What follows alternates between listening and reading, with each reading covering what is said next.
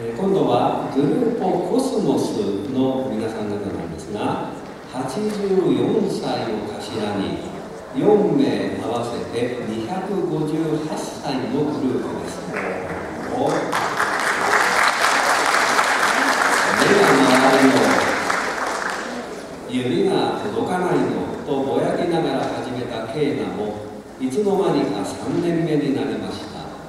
なかなか上達しませんが曲を吹けるようにはなってきました。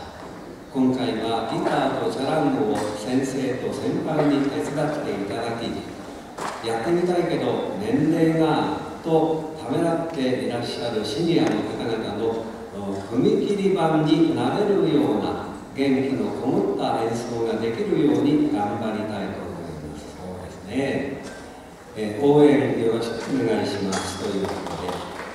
グループコスモスの演奏は、え1曲目が「月と雨の歌」それから2曲目「胸湾記」ではお願いします「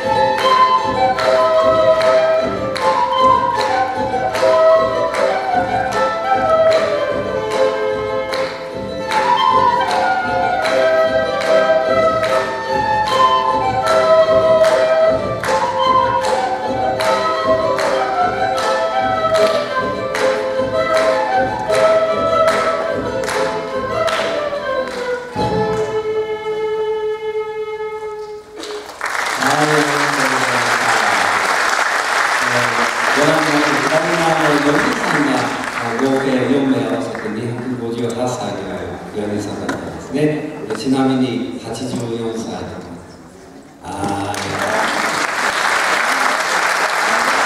元気づけられました。ありがとうございました。